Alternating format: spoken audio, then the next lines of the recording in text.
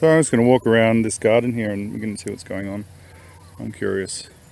Um, this has just really exploded into growth in the last few weeks. Um, this uh, Mucuna bean, which is the the one without the irritating hairs, there's, there's a couple of forms of it. As um, you definitely want the white-seeded one, large white-seeded, because the other one's just murderous. Has these fine little silica hairs on its seed pods. You don't want to touch those. Anyway, this one's just going nuts. So the question for me is, how long do I leave it? Um, the sorghum is poking its way up through the top. Um, some might have been left behind, some weaklings. And then this guinea grass, that's, that's powering through as well. That's a little bit more shade tolerant, so that's actually not going to suffer as much. But what I'm really trying to do is um, create humidity and shade. See this, um, there's this cooch under here. You can see that, yeah, this um, Cynodon dactylon, river cooch. And see how it's grown really tall? well, I want it to collapse. But it's actually going to take a few weeks of shading um, before this bean will kill it. And if it can kill it, then I don't have to, I don't have to dig it out. Or if I do, it's just going to be like a scrape with it with a hoe, which is which is fantastic news for me. Um, and then, um, you know, this actually produces a whole lot of carbon as well. Not as much as grasses, but um, you know, if you let it grow through to the end of the season and cut it just when it starts to flower, that's going to be abundant. Um, these bananas, they're doing well. I don't actually know what variety they are. Actually, they just, I found one clump and then divided them all off that. So we've got, um, I think there's one over there. Yeah, banana, banana, banana, banana, banana, banana. It's like six or seven, six or seven along here. So that's going to give us a good feed. Maybe uh, if you know what they are, just let me know. This is quite a distinctive leaf pattern. You don't see that in many bananas, so that might give it away. And um, it's kind of dwarf as well. Like I, you know, the clump I got it off, the tallest one was was no more than a meter and a half. Um, see in here, this is like this is the mess basically. Um, it's a bit of a self-limiting mess. That's the one thing I like about this this cooch, this stuff here. It basically gets this tall and no taller, and it will it'll go rank just like this. It'll go rank and it'll kind of fall over itself and that stops it from growing anymore. Uh, that means you're not getting any productivity, but you also, it's there's no other weeds. You know, it's just it's it's um, it's under control. So what I can come through now is cut this and then lay that down on itself. And that's another thing, like any shading inhibits it. So um, yeah, by cutting it and laying on itself, that will actually, they'll get rid of it. And the proof is all this area here because this is all this is all like that. Um, and I've basically used mowing and, and self-mulching to get rid of it all. Uh, in here you've got along the edges here this is the guinea grass and then in the center it's sorghum. Now from this from this distance they pretty much look the same. Um, but one is very sun loving the other one is shade tolerant so the one in the middle that will be that's just going to be an annual or a biennial and it will be replaced by um, this banna grass over here. I'll, I'll, get back to that. So yeah, this is a this is a strip here, um, which is not for like production trees. This is just for like the odd berry tree, bit passion fruit, but mainly this is for biomass. So I've got um, Eucalyptus grandis, got some guinea grass, got some mulberries, got some uh, caprifigs, which is the male fig. We've got um, a bit of banna grass, got, uh, I, I put in this lemon myrtle because I had nowhere else to put it. It's not looking very happy on that branch. Um, this, this soil up here is very poor. It doesn't get any irrigation at all. There's no watering here and there's no feeding.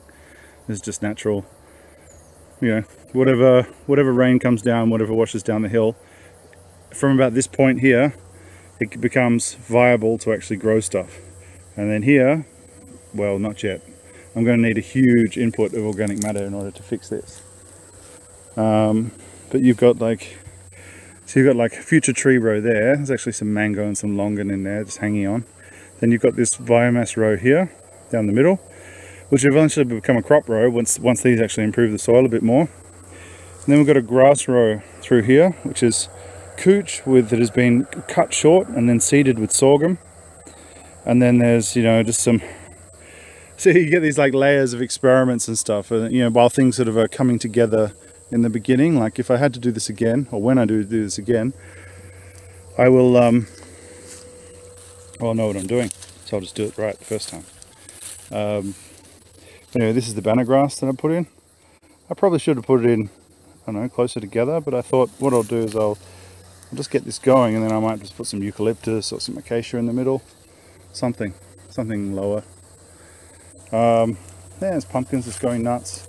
So as long as, you know, it doesn't strangle my trees, I just kind of, you know, if it gets in the way, I'll just lift it up and move it into the right position. Um, citrus, lemon balm, there's eucalyptus there, a bit of, um, I say, bleeding heart tree. Um, yeah, and there's kiwi berry, dragon fruit, more citrus, poplars, vetiver grass, castor bean, all sorts of stuff in here. This is one of the first rows that I did. So I've just been like, it's a bit of a placeholder sometimes. I just, I don't have anywhere to put something and I figure if it sits in a pot and I get it, I get it some dry weather, it's going to die. So let's just chuck it in and then observe it. Um, and what I'm seeing is, you know, you start to see the combinations of plants that work well together. So I find that like, you know, like cassava is high strata um, and pumpkin is only medium. So normally you'd be like high and low and, you know, but they work because the height difference is enough and you know I think that they they can be used in, in some sort of a combination together. Um, this one will take longer this one see up here if there's no if we don't get frost here this will actually live through the winter. Um, just the same as this chilacayote um, this one here this is looking a bit sad because I think I cut one of its stems it's flowering anyway this is like a vegetable squash quite a different flower to a regular one. Anyway, this is the second year. It grew all the way through winter, didn't stop growing at all. Um, as long as it doesn't get, get hit by a direct frost, it, um, it'll just keep going. But yeah, you need to like, I actually, this plant annoys me a bit because it's, a, it's too vigorous. Um, I wouldn't call it like a weed or anything, but it just, it's not in the right position. It needs to be given its own space because um, it will smother other things out. So yeah, this is the sorghum. Um, this is ready for another cut. It's already been cut once. Um, what I'm hoping is, I cleared this of, of weeds before. There are some weeds coming up here, but nothing, nothing serious. And um, I'm going to come through here shortly. I just wanted to wait until it's high enough. Um, now it's what, about a meter and a half tall. So yeah, time to just take it all off at ground level. And then we're going to lay all the mulch here um, alongside these chilies here. Know, this lantana is going to get chopped again. This banana, uh, canna will get chopped again. Uh, and then all that mulch will get tucked under under the um, under here. So I'm going to step through the garden bed a bit. Just try not to shred all my seedlings. So I can show you these chilies. This is just chockers. Ooh. Yeah, it's Capsicum Chinense. Chinense, this one looks like it got stung. No, just fell off. Is that stung by a fruit fly? Not sure I've got a fruit fly trap here. Um, not too many coming in, but um, still, yeah, they still get past. Anyway, there's some in there. I'm not sure what these are, but they're very hot. My neighbour made some some chili sauce, and it's um, it's got a very lingering burn. very tasty though. Ah, so here's some fruit fly damage. Let's come through and pull these off. See? That's um that's definitely stung. So what we'll do is we'll just put that in a um in this pot for a minute. Take it with us. And then I put them into a bucket of water. And that will that will drown them. That's the best way to get rid of them. Um, these are all this is just like a mix of hybrids of chilies. Um, I actually know what these are called. These are actually all from the same seed batch. So you can sort of see that, you know, like those two are very similar. This one's very similar again, but a little bit more round and, and small. Um, and then there's this one. Just like, you know, black sheep.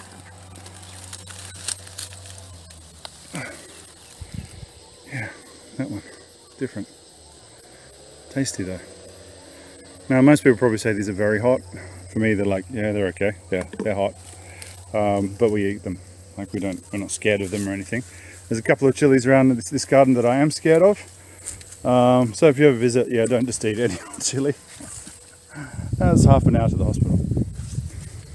We'll get you there.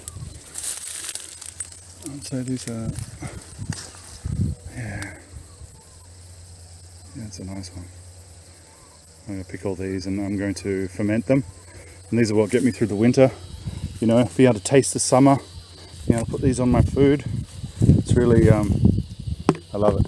I love it. I can't wait until until spring comes around. Um, here's a bit of a wild area.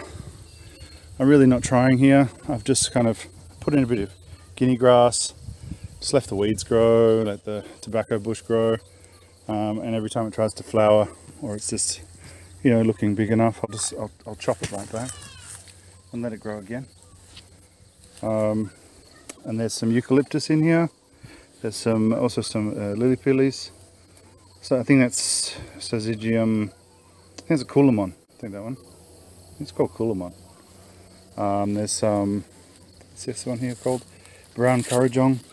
So these are like basically rainforest. That's a rainforest pioneer and I've got a few rainforest pioneers through here. We've got um, the bleeding heart and um, Trema and a few other things. I just got them from the Eastern Forest Nursery. And then we've got plenty of these Eucalyptus grandis, which are, I'd say this is getting close to eight months old. Yeah, eight months from a seedling put in here. And these will eventually be, this, this dragon fruit still in a pot, but um, when this gets big enough and I start topping it, um, I'm going to be having this particular variety of dragon fruit will be propagated and then grown all along here. And so each row is its own type of dragon fruit. Uh, makes it easy for me later to keep track of. And um, yeah, I've got the details on the name of that one somewhere. I've got a few unknowns. That might be the one of the unknowns, but at least it's an it's a known unknown. It's a it's a dragon fruit that I, I know where it came from. I just don't know what it is. So when I do figure that out, that'll be great. Uh, turmeric, turmeric avocado. That's a Wurtz avocado. Turmeric, we've got some ricotta, the tree chili, goldfinger banana, papaya. Um, what else is in here? Wampy and a few other things. Davidson plum. Uh, this is fallen over. Good o. Alright, so that's a goldfinger banana and that's a um, Davidson plum which was gifted to me that was lovely I want to get some more of these actually I would like to have Davidson plum all the way through here um, because it made it through winter and that's what matters if you can make it through winter just go for it maybe maybe you know it won't get through every winter but it will for now. Same as this guy here. This is a um, candle nut. Didn't think it would make it. Made it. Um, we also have over here we had some uh, green green sapote which I grew from seed. Um, try and point that out. There we go. That one. See didn't think that would make it either. Doing fine. So it's sort of under the shade of this very large white shatoot mulberry. So it's doing fine. African African yam white yam um, you know this time of year I just want everything to grow because I'm getting so much biomass um, nothing's flowering yet you know, nothing's so giving me a signal that it's time to, you know, really time to cut. Um, camphor laurel, that was here before. What I do is I, I let that grow and I'll let it get up to whatever height I want it to be and then I cut it back again and it regrows. And I put that mulch next to the fruit trees. This is an avocado which is not looking so good. Reed avocado, it had a bit of a dieback problem uh, due to this, um, there's one, one insect keeps on bothering my fruit trees here. It's called a wattle pig. Never heard of it before. Never seen it. Anyway, it loves to chew the bark off trees. Bugger of a thing. More bananas. Got so many bananas here. And uh, yeah, we'll have to check out one of the other areas.